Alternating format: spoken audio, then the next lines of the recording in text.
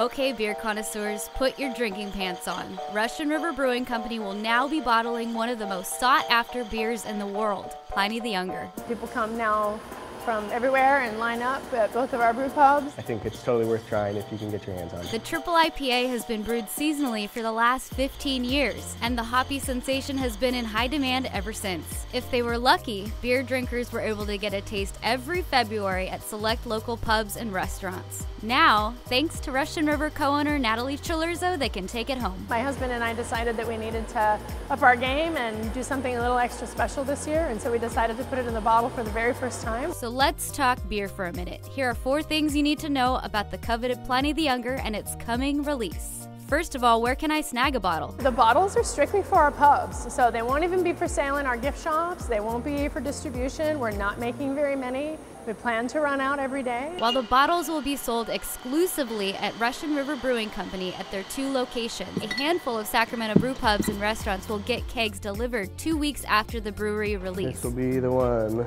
Pliny the Younger. Nick Schvedich of Sacramento Pangea Beer Cafe can't wait. I mean, we're gonna get it, you know, we're gonna get it. Last year we got a half barrel, which is 15 gallons approximately, so triple the amount, which is great, but it's still sold out, I think, in about half an hour last year. Okay, but wait, who's Pliny? Pliny the Elder wrote about hops back in um, the first century. His nephew, Pliny the Younger, he uh, was able to chronicle his uncle's life and death, and one of the reasons we know so much about Pliny the Elder is because of Pliny the Younger. There's a little history there. So why the hype? It is just a really, really good triple IPA. I've seeked it out myself. You wait in line a little bit, but you get the full experience once you're in there, and yeah, the beer is totally worth the wait. It's all consumer driven. You know, we've never packaged it before, we've never bottled it, we don't do any marketing with it. So it's really a very interesting uh, phenomenon, if you will. Okay, but how does it taste? It's very balanced, super hoppy in the aroma. A pretty good bitterness on it, piney. It has like citrus, like grapefruit. Very dry still for being a 10 and a quarter percent beer. So I can go get you ladies a taste if you like.